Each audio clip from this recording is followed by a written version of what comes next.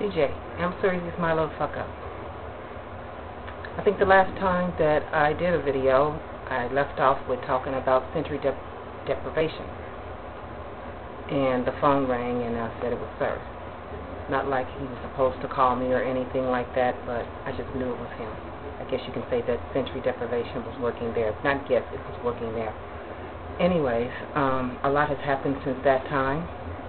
Well, I think we went through Christmas we went through New Year's. Happy um, Merry Christmas, Happy New Year. God, I almost did that wrong. Anyways, um, Christmas was good. New Year's was even better. This year of 2009 is just great for us right now, and it's going to continue to be great. Um, Merry Christmas, Happy New Year's to everybody. I hope your year is the year of change because it definitely is for us. Um, I used to live in a little room in a house, had a roommate and whatnot. That has changed. Um, our family have new. We have some new additions. That new addition is my sister. I have another sister. We have another sister. Um, her name is my little fucking wise ass wise as she can be. and um, we also acquired another addition to our house. Okay, we had the Pimp Style Palace. Now we have the Pimp Style Lair. Um, that's going to be, uh, it's our training place and other things. But anyways, we have, those are our new additions. And uh, all of this came about before 2009. So there's so much more that's going to be coming towards us and a whole lot of other people out there for this year. It's five days away from us getting the new president, our new president being sworn in, a black man. Wow. Who would have thunk it? Well, some did, some didn't. Well, it's actually happening. And it's definitely a year change. Not for that, that reason, but it's a year change. Um,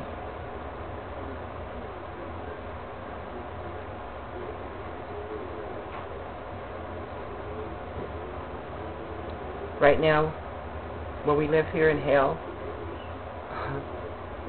where everyone is coming to see the president be sworn in, the energy is just like overwhelming.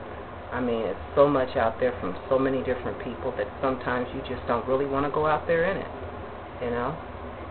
And um, it's been something all week. I mean, you can just feel it. Even if you don't leave out the house, you can feel it. Um, so it's going to be really something next week. We have Martin Luther King's birthday that's on Monday, and then the presidential inauguration on Tuesday and everybody's trying to be a part of it.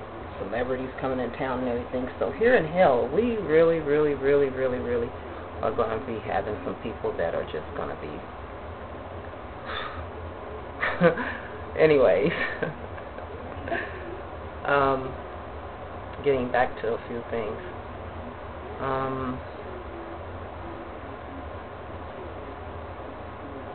that move that was made from the place that I used to stay. It was a very positive move because if you had seen any of my other videos, I did talk about how the energy was just so bad. The chick was more bipolar than I am. Seriously, I mean, she was out there. Um, and when you get to feeling that you don't want to go home, when you do get there, because you just can't be comfortable and relaxed, then wow, it's not your home. Right now, the new place that we have is definitely home. It feels like home. Also, it's made me even more real time as a 24-7 submissive. So, that's a plus. And slipping, yeah, when you slip, you're actually seen I mean, not that it wouldn't be seen, but, you know, it's right there in your face. you can't do anything but suck it up and suffer whatever it is you're to get for slipping up. But I'm enjoying it. I really am. I'm um, really digging it. You know, because it's real. Nothing phony about it. Those times when I would go back to my place, those were times when I actually could go back, kind of get back into another, or get back into an old, not old me, but it's like out of sight, out of mind, you know? Whereas your submission should always be your submission 24-7, regardless if it's real time or not. But the atmosphere, too, where I was at was not really, really one of those positive type atmospheres. And, you know, when a person's a hater, then, you know, you have to deal with that as well. So, everything is just cool right now. And I think Sir's really pretty happy about it as well. My sisters are really happy about it. They gave us this really nice, well, this is what happened too. Before Christmas, we all had to get together, you know, and do our thing because other people had other obligations. So, you know, that was something that was planned, and we wind up um, giving the house a housewarming during the same time of having our family dinner and Christmas. So, in the process of all that, we had butt naked twister. That was fun. You know, you put the oil all on your body, you're all the mat's down on the floor, you know, and it's kind of taped down on the floor to the point that it will not move or slide. And the floor is like a towel type floor, so, you know, it worked out really well. So we oiled each other up and stuff, and then finally, Sir had the board that he could flip the thing and say, left on red, you know, read on blue, you know, your hand or your arm or something. So for those who know how to play Twister, you know how it works. But um, ass in your sister's face. yeah. Um, and purposely, sir, with the board, he did what he wanted to do. He really worked it. So it worked out really well. It was really fun. We had a good time, and that's something I'd like for. I know we're going to play again probably with a little bit more, um, more, little differently, you know. Um, let's see. Um,